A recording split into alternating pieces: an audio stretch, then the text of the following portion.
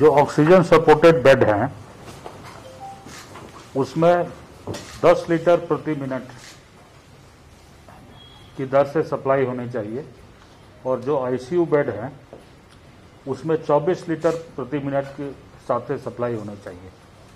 तो जितने बेड हमारे पास हैं ऑक्सीजन सपोर्टेड बेड और आईसीयू बेड इनके लिए हमें एक मेट्रिक टन ऑक्सीजन चाहिए। अभी जो बेड ऑक्युपाइड हैं, जो भरे हुए हैं, उनके लिए हमें लगभग जो है 130 मेट्रिक टन चाहिए। और अभी हमें जो उपलब्ध है, वो 126 मेट्रिक टन जो है, औसत के हिसाब से प्रतिदिन उपलब्ध हो रहा है। और पाँच मेट्रिक टन जो है, जो हमारे हॉस्पिटल हैं वहाँ पर जो प्लांट्स लगे हैं, उससे उपलब्ध हो रहा है। और बहुत शीघ्र जो है, जो और हॉस्पिटल में लगने हैं प्लांट्स उससे हमें चार मेट्रिक टन उपलब्ध हो जाएगा। भारत सरकार ने जो एलोकेशन दिया है हमें, वो है एक मेट्रिक टन लेकिन इसमें एक दिक्कत यह है कि इसमें हमारा 60 मेट्रिक टन जो है, वो प्रदेश से बाहर से है। और ये 40 मेट्रिक टन जमशेदपुर से है, लिंडे के प्लांट से। झारखंड राज्य में, और 20 मेट्रिक टन ये बंगाल से है, दुर्गापुर से। अब इसके लिए हमें 12 कंटेनर्स चाहिए, जो हमें उपलब्ध होने चाहिए, क्योंकि वहाँ से आने में करीब 26-27 घंटे लगते हैं। तो लगातार सप्लाई जारी करने के लिए 12 कंटेनर्स चाहिए।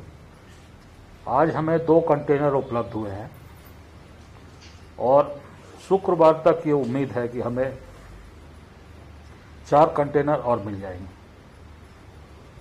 तो अभी जो स्थिति है वो, जितने पेशेंट अभी हैं, उस हिसाब से तो ठीक है। आगे आने वाले समय में ऑक्सीजन सप्लाई की हमें ज़रूरत पड़ेगी और जो बाहर से अलॉटमेंट किया है, वो